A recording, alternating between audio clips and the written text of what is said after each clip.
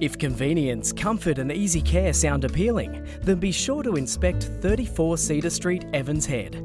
The four bedroom home has generous proportions throughout a large kitchen with island bench and gas cooking, three separate living zones, and an in ground swimming pool are just some of the features.